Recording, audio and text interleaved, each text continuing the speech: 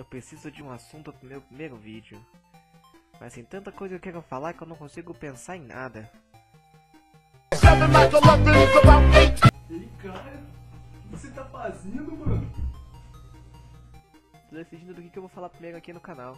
Ué, mas por que você não vem na copiar que os grandes faz, meu?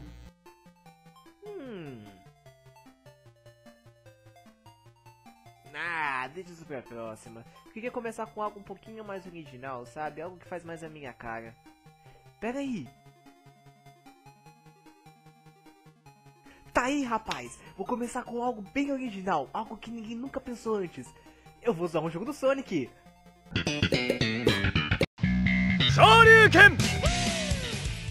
Sério, eu amo a franquia Sonic the Hedgehog. E não, eu não sou fã só dos jogos de Mega Drive como é normal de se ver por aí. Eu sou aquele tipo de fã maluco que realmente ama quase todos os jogos. Quase todos os jogos. Que acompanha os quadrinhos, viu os desenhos e conhece até o background de produção dos jogos mais famosos. Mas não, eu não sou aquele tipo de fã maluco que fica fazendo roleplay de personagem ou fica vendo hentai de joguinhos por aí. Eu ainda não cheguei nesse nível de loucura. Porém, por mais que eu seja fã, não tem como negar que Sonic tem a sua parcela de jogos ruins. E meu Deus, como eles são ruins. Tanto que zoar Sonic hoje em dia é até banal, as pessoas fazem isso quase o tempo todo na internet.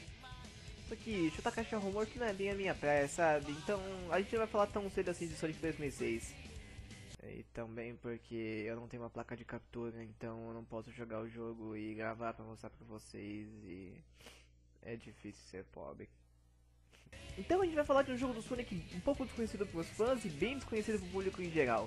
Se você já leu o título do vídeo, você já sabe o que eu tô falando, não tem por que eu fazer mistério.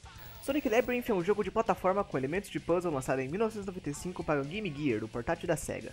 Como vocês podem ver, ele não é nada parecido com os clássicos de Mega Drive. Na verdade, lembra mais o Sonic 3D Blast, inclusive foi o Labyrinth que inspirou o Traveler's Tales a criar o 3D Blast alguns meses depois. Normalmente, eu não priorizaria a jogabilidade no começo de um review, mas o problema é que é tão grande que fica complicado não falar de outra coisa antes.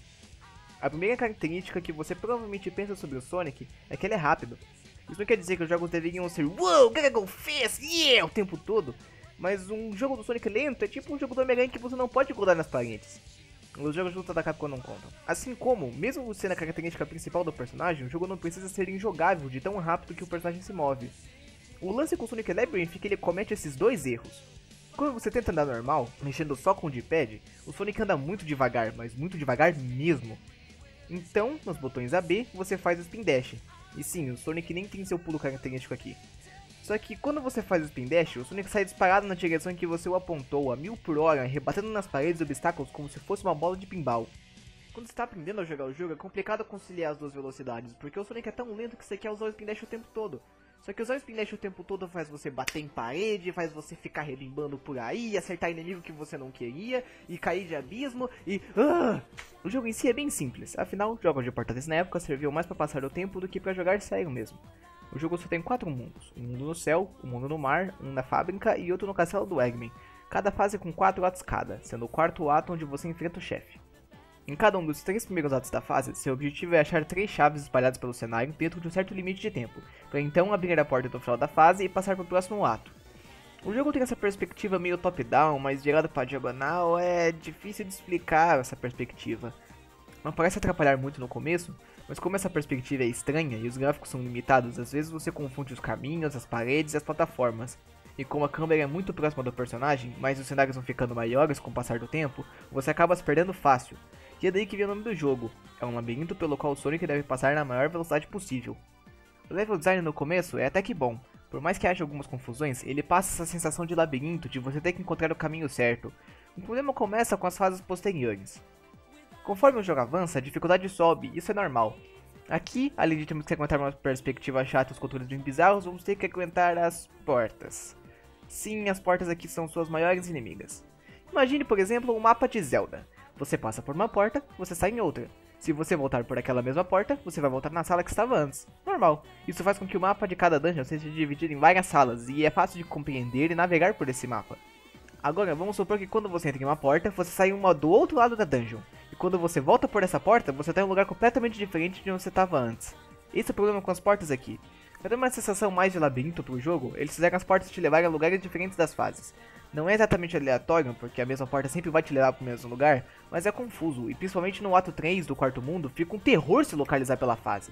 Isso força você a jogar várias vezes a mesma fase para saber o caminho certo que leva as três chaves e depois ao portal de saída.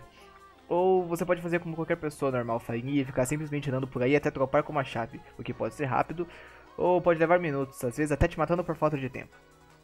Sem contar que existem algumas fases que tentam te tralar, colocando chaves em lugares complicados de encontrar sem saber de antemão que a chave está lá. Tipo no ato 3 da fase da fábrica, você acha duas das chaves com relativa facilidade, mas aí você começa a procurar pela chave que falta e...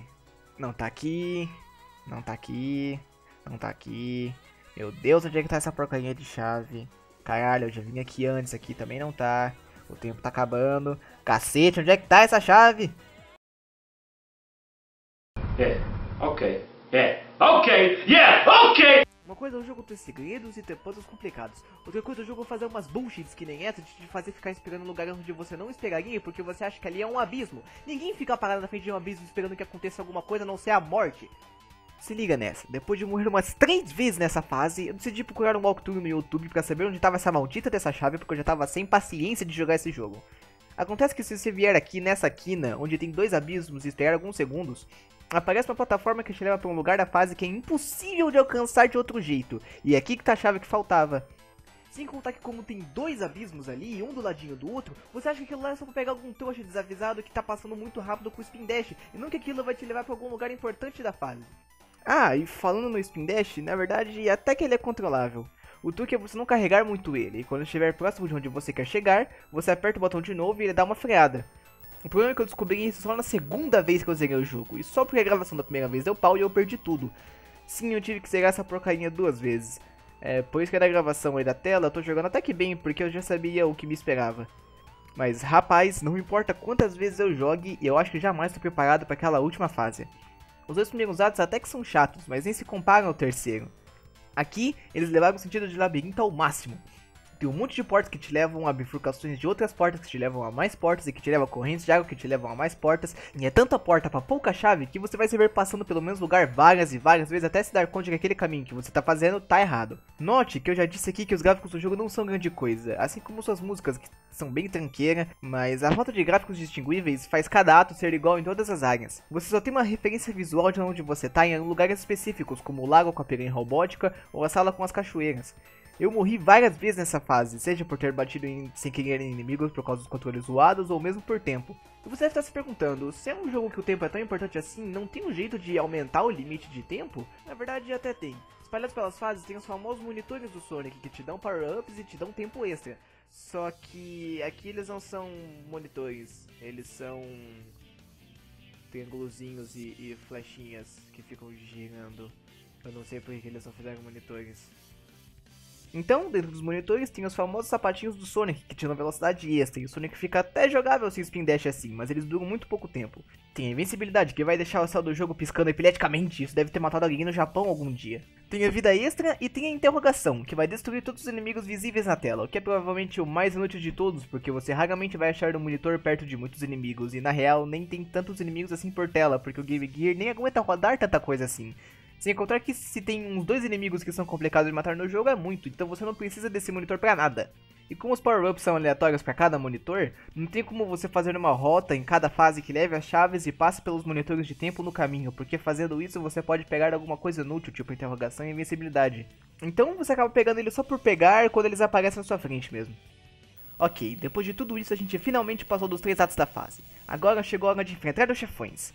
É estranho porque a primeira vez que eu entrei em um ato de boss, eu pensei que fosse uma fase bônus, porque você começa o ato escorregando numa ladeira com vários anéis para pegar e alguns obstáculos para desviar. Porque quando você chega no final dessa ladeira, você automaticamente vai para a sala do boss. E eu já aviso para você não ficar parado esperando alguma coisa acontecer, porque a primeira coisa que o jogo te faz é te atacar um inimigo na sua direção. É, eu morri assim na primeira vez que eu joguei o jogo. No geral, os bosses não são difíceis. Geralmente você tem que sobreviver a uma wave de inimigos até o boss aparecer, então acertar ele algumas vezes no seu ponto fraco e desviar de seus ataques. O problema é que como a sua única forma de ataque é o Spin Dash, você não fica invencível enquanto rola, é até comum você usar o Spin Dash e ser acertado pelo boss simplesmente porque você estava rápido demais para reagir de qualquer maneira. Então aqui você vai morrer mais por azar do que por falta de habilidade. No geral, o jogo é basicamente isso. Ele é curto, não tem muito o que falar dele. E em mais ou menos uma hora você zera ele, mesmo sendo a primeira vez que você está jogando. No final, não foi uma experiência péssima, mas também não foi uma experiência boa. Foi só ruim. E como eu tinha ouvido falar muito mal desse jogo de fãs, eu pensei que ia ser bem pior na verdade. Foi por isso que eu escolhi falar dele aqui. Mas é bom saber que o jogo não é tão ruim assim quanto dizem. Tudo bem que ele tem bastante coisa chata, mas como é um jogo de portátil e é claramente um jogo experimental, eu até relevo esses erros. Afinal de contas, tem jogos do Sonic bem piores do que esse por aí, tipo Sonic 2006, tipo Sonic Lost World, tipo Sonic Generation de 3DS, tipo Sonic Chronicles, tipo Sonic R, tipo Sonic Zero Gravity, tipo Sonic... When will you learn? I'm tired, will you?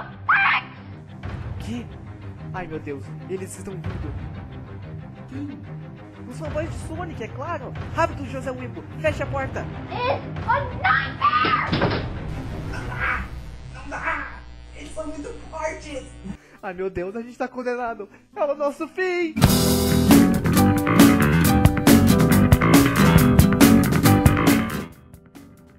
Bom pessoal, aqui quem fala é o Takato, espero que vocês tenham curtido o vídeo. Não se esqueça de se inscrever no canal, curtir, compartilhar com seus amigos. E a gente se vê no próximo vídeo, tudo bem? Falou!